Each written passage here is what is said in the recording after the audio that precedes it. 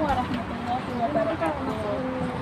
Saya dengan Lela Febrianti bergabung dengan Tech Squad karena eh, di Tech Squad itu banyak sekali manfaat yang saya dapatkan serta eh, sangat banyak sekali Tech Squad memfasilitasi kami sebagai member untuk eh, bisa bisa mengupdate ilmu marketing ke properti dan masih banyak eh, oleh Tech Square. Dan eh, di perumahan Harborsville ini saya sedang survei.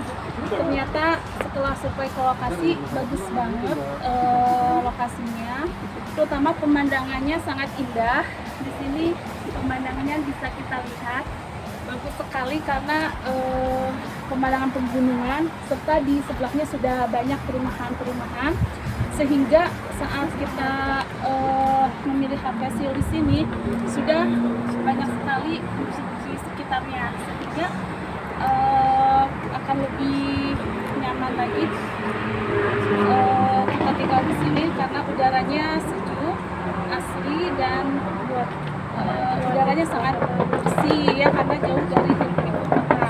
Tapi aksesnya sangat bagus ya menuju ke dekat sekali dengan jalan utama dan ke jalan provinsi